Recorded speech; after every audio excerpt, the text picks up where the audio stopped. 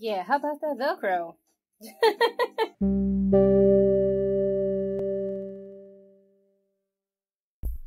hello, hello, my fishies. It's Kat from the Fire Tuna Club here. Check out my totally professional manicure. That's right, I did it myself. So let's get to the point of what today's video is going to be about. This is a basic skirt pattern that works for Barbie or Monster High. Please make sure you're printing the right pattern. If you don't already have the pattern, head over to firetunaclub.blogspot.com to get it. You can find them by skill level or by doll type. And if there's anything you don't understand, there is a helpful terminology guide. If the terminology guide doesn't cover what you need, just hit up YouTube for that specific thing that you don't quite understand, and there will be a video included if I haven't already made it. Also note, you can put as much or as little effort into this basic pattern as you want to make it look really good, and if you guys want me to cover the variations as seen in this Monster High skirt, hit the comment section down below, and I'll be sure to do a follow-up video talking about the variations and the modifications to make this skirt even better. The things you will need for this pattern are fabric of your choosing, fabric scissors, paper scissors, pins or fabric weights, velcro or snaps, a needle and thread or your sewing machine, and optional, some kind of marking chalk or marking pencil. Fabric glue is also optional. Both skirts are made largely the same way. There's only one additional step for the Monster High skirt, which I will cover in the video for those of you watching for Monster High. Otherwise, gonna be working with the Barbie skirt because of the size difference. Before you start step one, please don't forget to check the pattern scaling chart to make sure that it printed off correctly. And the pattern is correct, make sure you use a ruler that's actually an inch and not like an inch and some change.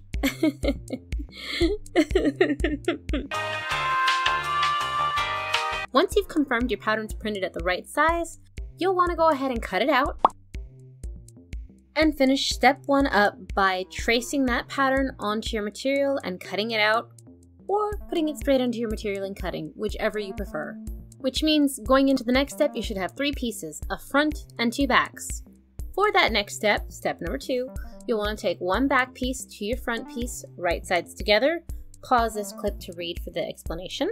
Then you want to pin it in place and hand sew or machine sew it, whichever you prefer. To my novices using hand sewing, I would recommend practicing with your back stitch a whole of a heck of a lot. I don't like hand sewing, so mine needs a lot of work. a lot of work. And for my novices, who are not quite yet familiar with their sewing machine, I would recommend using a seam gauge, using it to make sure your needle is where it needs to be, and using the edge of the foot to line up your seam allowance properly. Because as you can see in my clip, my middle and the edge of my sewing foot did not equal a quarter inch seam allowance. Repeat this step to the other side, and if you want to cut down the seam allowance a little bit, get your scissors and turn it from a quarter inch to an eighth of an inch. It's magical.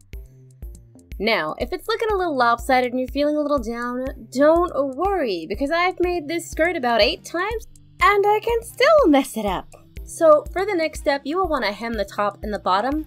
I used my fabulous trick I personally like to sew at the quarter inch, so I was doing a half inch mark to show where when I folded it, the edge should meet. You can do the same trick, just don't do this here, cause no. You can see the moment that once I'm done struggling with the glue, I realized what I've done. Like I said, I've done this skirt a lot for both Monster High and Barbie, and I can still mess it up. So just take your mistakes with stride, Heck, I went and finished this skirt anyway with that sliced up hem. Uh, once I figure out what I'm gonna do with it, you'll see what it ends up as. Or if I throw it away, I'll let you know. And if you're afraid of doing my mistake, you can just mark the quarter inch down to where to fold it. uh, yeah. Okay, anyway. The real step this time. You can mark at your seam allowance where you want to fold or double your seam allowance and mark where you want to fold to. I use Fabrifix? What am I doing? Anyway, use a glue of your choice. You can sew it with these curved edges on doll clothes. I like to glue it.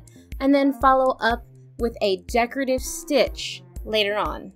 Make note of your glue's dry time and give it that time to rest. Repeat that step to the bottom. Voila! And then we can move on to the next step. Mark your chosen seam allowance as before, and use either glue or sewing to fold one side in. This one will be the side that is visible from the outside. An alternate version of the step is simply sewing up the middle halfway so that you have a semi-closed skirt. This only works for Barbie, does not work for Monster High. By this skirt, I had completely abandoned the script. You'll want to zigzag, fray check, or use glue on the other side. If you're savvy and slightly possibly a pyromaniac, get a lighter, hit up that polyester, and burn the side so that it doesn't unravel. If you're under 18 watching this, please don't play with fire, let your parents do it.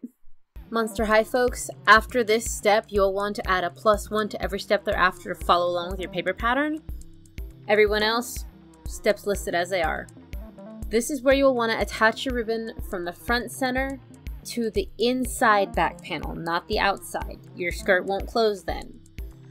I know what you see here on the screen, but trust me, after the wear and tear, just being able to glue it on the inside and then replace it as needed, it's better than sewing it into the hem in the previous steps.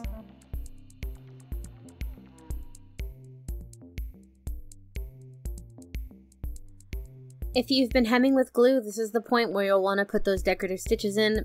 To ensure proper placement of your closures, you will want to check your skirt on your doll and either mark or pin it in place so you have an idea of where to put your closures. Closure options are as follows.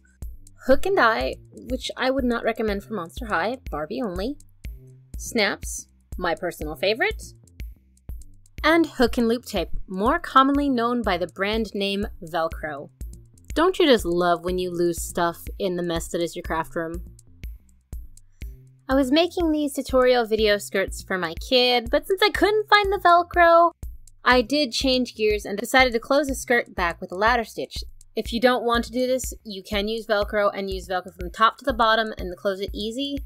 I would recommend this for anybody making clothes for their children's dolls having it close halfway up like I'm doing here means it's harder for them to put it on if they're young and don't have as much dexterity. Since I'm full of fun facts today, I figured I'd warn you, Fabrifix likes eating at nail polish. Sew your closure in. A neat technique I found is actually sewing a small knot every time you make a loop around your snap. It makes it more secure. And then largely you're done. I do always include the additional step of making sure that you've finished everything, clipping some loose threads, clipping any corners that need to be done. It's basically your last quality control step before your outfit is ready for your doll to wear it. As seen here. Now keep in mind, I did do a lot of variations on this. Note that this is a very simple pattern, and as I said before, depending on how much or as little effort as you put in, you can make some really lovely skirts. That was the basic one using snaps and sewing up the back seam midway. My white and blue one is my bare bones minimum with Velcro completely open back, and my lace one was a double layer of the same pattern, just with two pieces of fabric together. Got a nice skirt there too. Like I said, if you guys want more variations such as a split side Monster High skirt that was featured in the video, go ahead and hit the comment section below. And I did want to share with you something amazing that happened while I was editing this video. I've had some comments about my patterns being too simple or not fashionable enough. I am trying to be accessible to every level of sewer, so I am trying to mix it up, give you some easy patterns, and I'm gonna start whipping out the intermediate and advanced patterns. Keep in mind, guys, I sew clothes for myself, so my level of easy is not your level of easy, and if it is, cool, but it might not be someone else's. So, stick around. More patterns are coming. So now for the actual good news. Instagram user Poulpensiel has recently posted all the patterns she's made for free. All you have to do is go check out her profile on Instagram, click that tinyurl.com right there. It'll take you to her Google page where you can download the patterns. Don't forget to read the instructions first and then go pick the right size to download your pattern. This is something I am intending to do over time. I will be releasing more complex patterns here and there, but this is already done for you, so you don't have to wait around for me to get to it. Go check those patterns out. If you do try them, let Octopus in the Sky know. I am so sorry I don't speak French. And if you try one of my patterns, don't forget to let me know, and I'll see you all when I finish another project.